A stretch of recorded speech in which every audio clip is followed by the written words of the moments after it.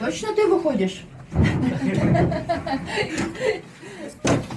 कल था मैं कज़ान और मुझे आना था व्लादिमीर और कज़ान से व्लादिमीर की कोई ट्रेन नहीं थी तो मैंने एक डिसीज़न लिया जिसने मुझे आज ऐसे गांव में छोड़ दिया है जिसका मुझे नाम भी नहीं पता तो ये है गांव नेचिन कुछ और यहाँ से व्लादिमीर है लगभग 80 किलोमीटर दूर और 80 किलोमीटर के लिए हमको करनी पड़ेगी हिचाइकिंग या ट्रेन या जो भी बस हो गई तो देखते कैसा रहता है सफ़र और ये थी हमारी ट्रेन कल की पूरी रात हम इसमें सोए अब निकलेंगे, जाएँगे हम के स्टेशन पे रेलवे स्टेशन पर पूछेंगे टिकट।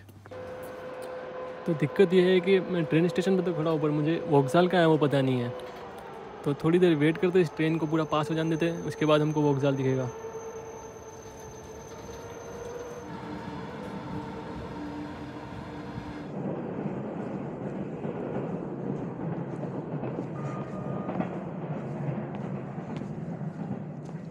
तो में सबसे पहले हमको ये वाच टावर मिली, जो उस टाइम ट्रेन देखने के लिए या ट्रेन को सिग्नल देने के लिए यूज़ होता था। अभी मैं इसका ट्रेन स्टेशन ढूंढ रहा हूँ। ट्रेन स्टेशन का है? क्योंकि सबसे पहले अगर यहाँ से व्लादिमीर की ट्रेन हो तो तो वो सबसे बेटर है। और अगर ट्रेन लेट हो मतलब एक ही ट्रेन और शाम को हो तो मैं ट्राई करूँगा कि हिचाइकिंग करूँ, क्योंकि लगभग थोड़ा ही दूर हाईवे और वहाँ से हिचाइकिंग मेरी इसी हो सकती है। मोस्ट प्रोबेबली यही ट्रेन स्टेशन लग रहा है। तो गलती से मैं थोड़ा सा गलत आ गया। ये वो वोगजाल नहीं है, मेरे को लगा कि ये जो मेटल की बिल्डिंग है वो वोगजाल है। पर यहाँ पे घर देखो यार, कितने शानदार घर है। और इनका गेट भी खुला हुआ अपने इंडिया की तरह, जब हमेशा घर के गेट खुले होते ना, उस तरह से। वोगजाल थोड़ा सा आगे है। कितनी मतलब इंटरव्यूइंग मतलब इंटरेस्टिंग गली है। और सामने है वो स्कूल है।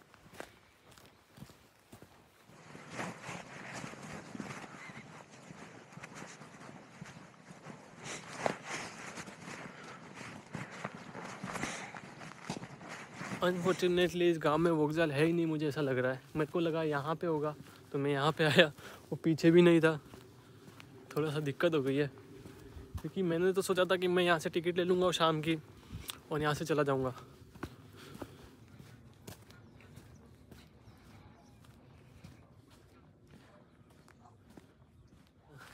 जब मैं ट्रेन में ट्रेन कंडक्टर को बोला कि मुझे यहीं उतरना है तो वो सच में बोली, तुझे यहीं पे उतरना है? तू सीरियस है?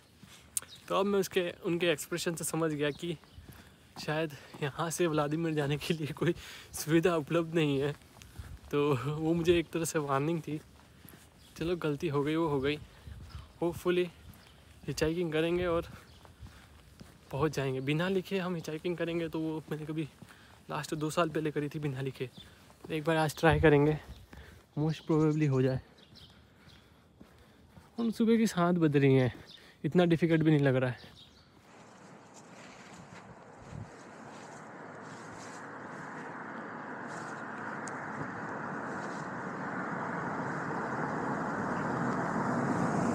Здравствуйте, я турист в Индии. Я хочу видео с Владимир. До, Гу- до Гуська-Усталева. Да, да. Но До, до автобусной остановки, до вокзала не повезу. Мне А. некогда.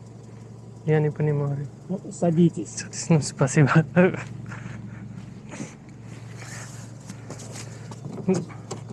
А, Владимир, автобус нету? Есть там автобус, да. А, есть там. Я, я иду в Казан. В Казан не поезд автобус а, в Казан и Владимир. Потому что я иду сюда и хочешь Владимир. Понятно. Но я вас довезу до автобусной остановки, там до вокзала, он довезет вас, а от вокзала идут на Владимир автобусы. м, понимаю. Ага. Как зовут? Меня? Да. Алексей. एलेक्सी तो एलेक्सी भाई साहब ने हमको लिफ्ट दिया अगले शहर के लिए और वो हमको छोड़ देंगे अगले शहर में जहाँ से हमको बस मिल जाएगी व्लादिमीर के लिए तो इस पर वो मुल शो है तो वो वाले भाई साहब हमको इस जगह छोड़ के गए एक अब तो स्टॉप बस स्टॉप पे और यहाँ से हमको लेनी पड़ेगी एक बस जो हमको सेंटर में छोड़ेगी और उसके बाद हमको मिलेगी ट्रेन व्लादिमीर के लिए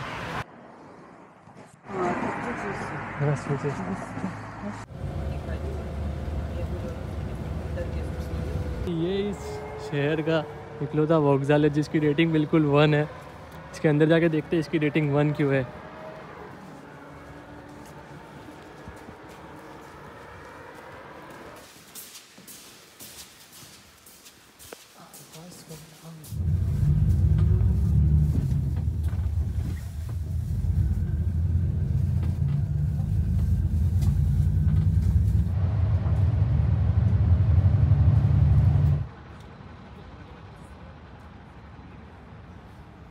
तो बहुत ही आसानी से व्लादिमीर सिटी हम पहुँच गए। बहुत जितना सोचा था उससे बहुत कम टाइम लगा। सिर्फ़ दो घंटे में यहाँ पहुँच गया। इनिशियल इम्प्रेशन मेरा यही है कि सिटी काफ़ी शांत लग रही है अभी तो। बहुत कम लोग लग रहे हैं। और लगभग हम सिटी सेंटर में ही हैं तो आसपास कुछ अच्छी जगह भी दिख रही है देखने के लिए। और यहाँ पे आप देख सकते हो कि बढ़िया सी ग्रेफिटी करी गई है। तो चलते सबसे पहले काम तो अपना हॉस्टल का है।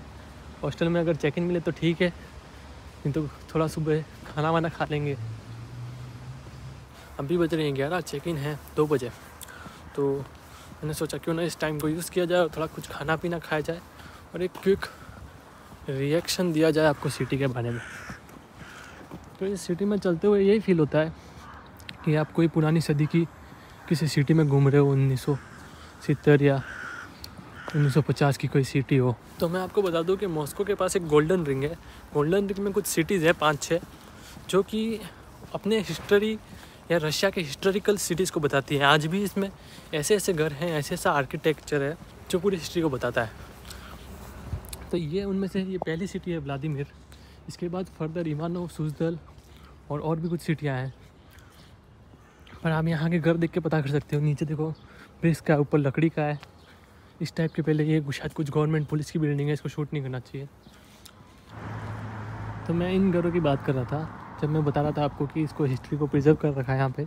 तो इस तरह के कुछ घर थे पहले ज़माने में, जब बोलो कि आप 1100 सन और 1200 सन के घर यहाँ पे अभी भी अवेलेबल है। ये लकड़ी को देख सकते हो आप, लकड़ी की जालियाँ कैसी हो गई इनकी कंडीशन जो भी मैं टूरिस्ट देख रहा हूँ, वो मोस्ट प्रोबेबली रशियन लोग ही हैं, क्योंकि ये सिटी सिर्फ़ रशियन लोगों के बीच में ही फेमस है ज़्यादा बाहर के लोगों को इतना पता नहीं है कि ये भी बाहर के लोग आते हैं मॉस्को पीटर्सबर्ग ये देख देख के चले जाते हैं Здравствуйте. Я турист в Индии. Я- Это турист центр, да? Я ко- тебе есть э, как something in in English? И Ты понимаешь английский? Тебя есть... э, вы- Да, да, да, вот. А, У нас есть только вот такой вот вариант. Это как А, он- прогулка по городу Владимиру. Здесь основные достопримечательности. А, это русском, да? Мгм. На, смотрите, на английском у нас есть вот такая вот книжка. Здесь с переводом на английский. Но здесь А. просто как описание. А, я понимаю. Картинки. Ну, просто как почитать для информации. А Ой. карты города закончились, к сожалению. Ну, карт, нормально, я вот это. Ну, хорошо, ладно. Это бесплатно, да? Да, да, да. Ну, спасибо вам большое.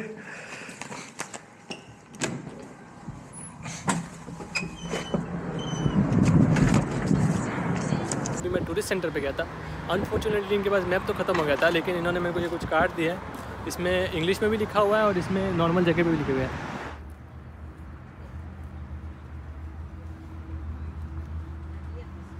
तो ये है भाई सेंट डिमिट्रिस कैथेड्रल और ये है लालदीमन का सबसे पॉपुलर प्लेस बोल दो या ये बोल दो। ये एक ओपन एयर म्यूज़ियम है मोस्ट प्रॉब्लली इसमें टिकट लगेगी।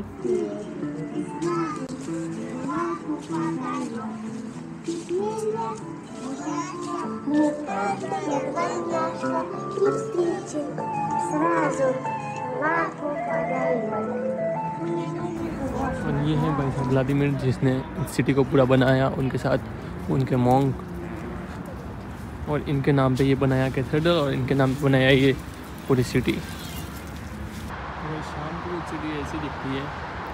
अनफॉर्चुनेटली सम आज है नहीं नहीं तो और भी खूबसूरत दिखती। और मोस्ट प्रोबेबली सारे टूरिस्ट चले गए हैं। अब जो लोकल लोग हैं, जो शाम को घूमने आते हैं, अपने कुत्तों के साथ, वही हैं। काफ़ी शांत सिटी हो गई अब। और सुंदर बहुत है, ये कहना पड़ेगा। तो भाई घूमते घूमते रात की लगभग आठ बज गई हैं। और अब अपने हॉस्टल जा रहा हूँ। थोड़ा सा सामान लेके खाना बनाने का और हॉस्टल में खाना बनाऊँगा। इस सिटी को ज़्यादा मैंने एक्सप्लोर नहीं किया। बस इसमें कैथेड्रल है देखने की जगह है पर ऐसा कुछ खास हिस्ट्री नहीं है और काफ़ी टूरिस्टिक था तो इसको मैं इग्नोर कर रहा हूँ। आपको पूरी स्टोरी हॉस्टल जाके बताता हूँ आगे का मैंने क्या प्लान में चेंजेस किए हैं। तो गैस कल रात को मैं थक थका के मेरे हॉस्टल आ गया था। ये है मेरा चाय। ये अ, आप एलनारा को जानते थे एलनारा ने मुझे गिफ्ट दिया था एक सॉस है जो उसने खुद बनाया है गार्लिक से। ताकि कभी भी तुमको सर्दी लगे तो तुम खा सकते हो और आज वही दिन आ गया जो मेरे को सर्दी लगी। हाँ रूम में इतनी ठंड है, इतनी ठंड है बता नहीं सकता। तो चलते हैं, नाश्ता करते हैं, थोड़ा रेस्ट करते हैं और निकलते हैं।